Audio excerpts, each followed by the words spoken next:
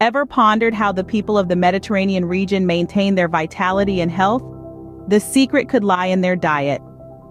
Today, we're delving into the Mediterranean diet, a dietary pattern that mirrors the eating habits of people from countries like Greece, Italy, and Spain. So, what's so special about this diet? Well, the benefits are numerous. First up, heart health.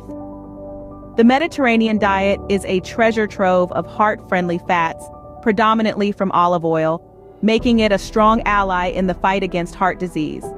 Living longer and healthier is another perk. A number of studies suggest that those who follow this diet enjoy a longer lifespan with reduced mortality rates. Weight management is another area where this diet shines. Its focus on whole, nutrient-dense foods can aid in maintaining a healthy weight and warding off obesity. For those grappling with diabetes or at risk, this diet can be a game changer, helping to control blood sugar levels. The Mediterranean diet also has potential cancer-fighting properties. Thanks to its plethora of fruits and vegetables and its anti-inflammatory nature, it may help reduce the risk of certain types of cancer. Cognitive health is another area where this diet delivers. It's linked to better brain function and a lower risk of neurodegenerative diseases such as Alzheimer's. Digestion gets a boost too. With its high fiber content from whole grains, legumes, and fruits, it supports a thriving digestive system. And let's not forget the antioxidants.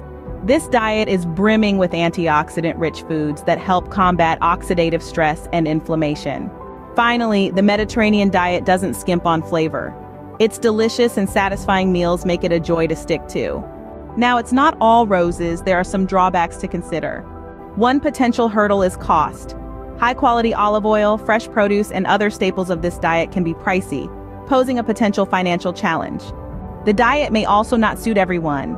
Those with certain dietary restrictions or allergies may need to tread carefully. Also, while the diet promotes healthy fats, it can lead to a high caloric intake if not consumed in moderation, which might not be ideal for those looking to lose weight. And then there's the cultural adaptation. If you're not used to Mediterranean cuisine, it might take some adjustment. Protein lovers might find the diet's limited emphasis on meat as a primary protein source a downside. Some versions of the diet promote moderate wine consumption, which may not be suitable for everyone. Lastly, preparing Mediterranean-style dishes can be more complex than other dietary patterns, potentially posing a challenge for those with busy schedules. To sum it up, the Mediterranean diet is a balanced approach to nutrition with a focus on whole, minimally processed foods. It's packed with health benefits, but like any diet, it's not a one-size-fits-all solution. As with any dietary changes, it's always wise to consult with a healthcare professional to determine if it's the right fit for you.